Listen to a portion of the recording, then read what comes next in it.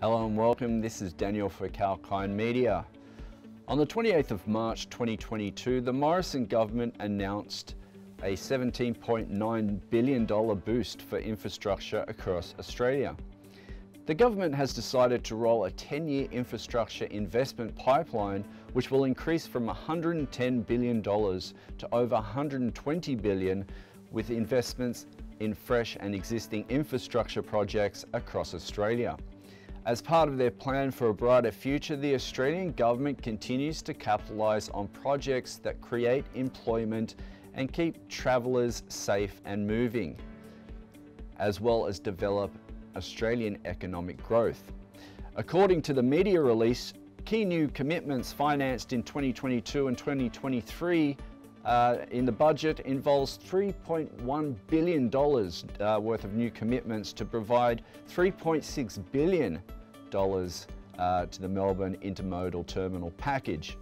The funding includes $1.2 billion for the Beveridge Interstate Freight Terminal in Beveridge, $280 million for road connections, $740 million for the Western Interstate Freight Terminal in Truganina, and $920 million for the Outer Metropolitan Ring.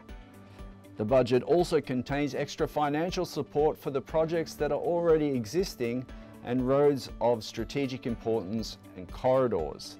This includes 2.26 billion for the North-South corridor, 352 million for the Milton Ulladulla bypass, 320 million for the Bunbury Outer Ring Road, 200 million for the Tonkin Highway Stage 3 extension, and much more.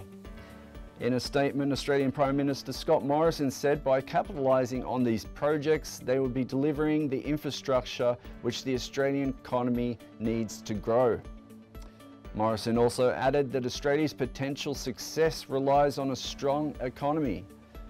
Their robust economic recovery is driven by their record financing towards major road projects across Australia.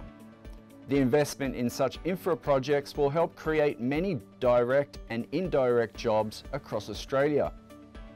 On the other hand, Deputy PM and Minister for Infrastructure, Transport and Regional Development Barnaby Joyce said that the Australian administration is developing the infrastructure which would make the Australian economy much more robust. Please like, comment and subscribe and hit the bell icon for future notifications. This is Daniel reporting for Kalkine Media.